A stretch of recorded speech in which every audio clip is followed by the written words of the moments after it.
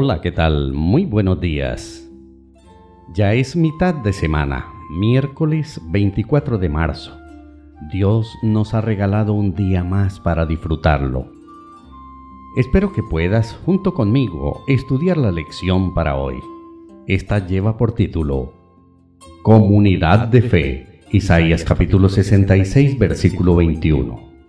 Recordemos el versículo para memorizar.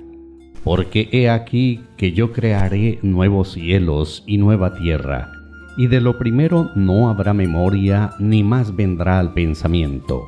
Isaías capítulo 65, versículo 17.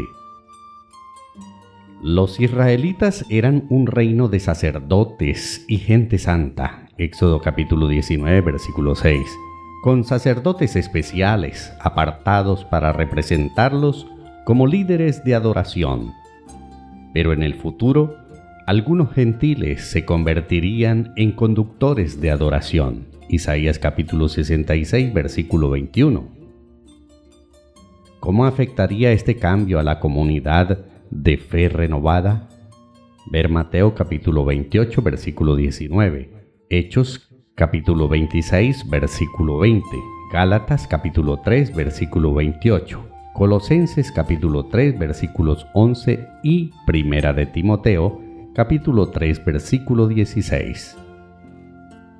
En el nuevo orden mundial de Dios, los gentiles no solo se unirían al pueblo de Dios, sino además estarían en pie de igualdad con los judíos en una comunidad combinada de fe, que sería un real sacerdocio. Por lo tanto, la distinción entre judíos y gentiles se volvería prácticamente irrelevante. ¿Cuándo se cumplió esta profecía de Isaías? Pablo el misionero a los gentiles proclamó, Ya no hay judío ni griego, porque todos vosotros sois uno en Cristo Jesús. Y si vosotros sois de Cristo, ciertamente linaje de Abraham sois, y herederos según la promesa. Gálatas capítulo 3 versículos 28 al 29. Convertirse en herederos de la promesa y por lo tanto en un real sacerdocio exaltado no era un mandato para un elitismo arrogante, sino una comisión para unirse a los judíos en una proclamación de las obras maravillosas de aquel que los llamó de las tinieblas a su luz admirable. Primera de Pedro capítulo 2 versículo 9. Comparar con Isaías capítulo 66 versículo 19. La exaltación de los gentiles no daba derecho a los judíos para quejarse de que Dios era injusto al darles la misma recompensa. Tampoco daba derecho a los gentiles a tratar a sus hermanos judíos con falta de respeto, así como los obreros contratados en las primeras horas del día tampoco deberían menospreciar a los contratados más tarde. Ver Mateo capítulo 20 versículos 1 al 16.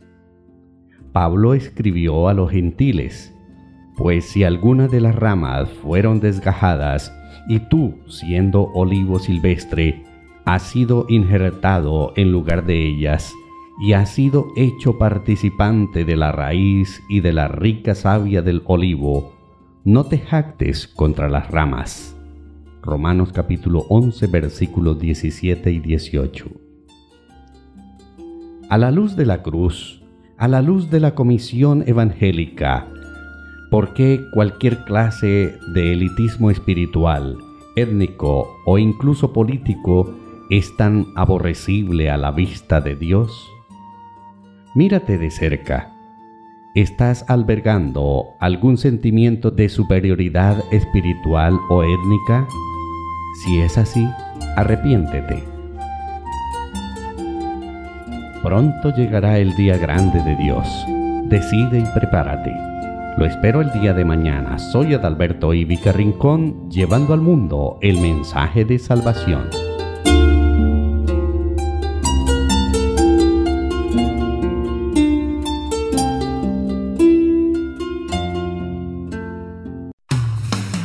Esta fue una presentación de Canaan Seven Day Adventist Church y DR Ministries. Visítanos en www.devocionmatutina.com o escríbenos a d-ramos28 hotmail.com. Te esperamos.